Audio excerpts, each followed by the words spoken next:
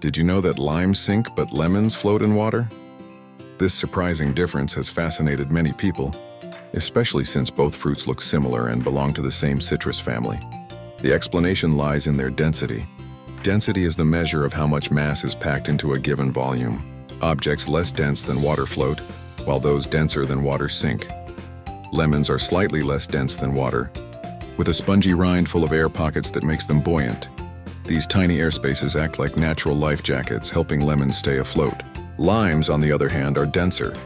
Their rinds contain fewer air pockets and their flesh is more compact, giving them a higher overall density than water, so they sink. This difference is also influenced by ripeness and variety.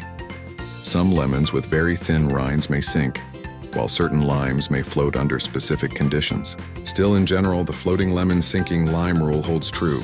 This fun fact is often used in science demonstrations to explain density, buoyancy, and Archimedes' principle.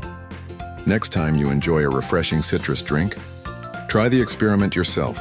It's simple, surprising, and educational.